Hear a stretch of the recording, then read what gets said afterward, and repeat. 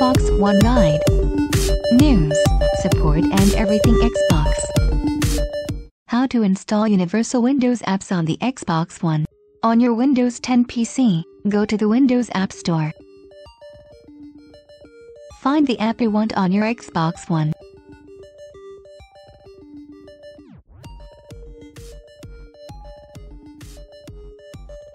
Click the apps icon, and make sure it can be installed on your Xbox One by looking in the Available on section. If it does not say Xbox One, then that app is not usable on the one yet. Click Free or Install.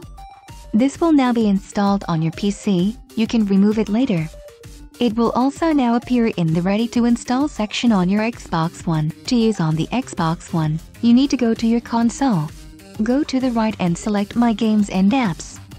Go down, select Ready to Install. On the top right, change the sort to Apps.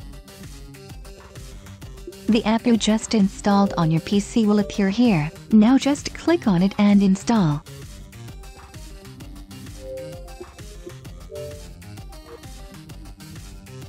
When it's done installing, you can find your app in the My Games and Apps section, just like a normal Xbox app or game.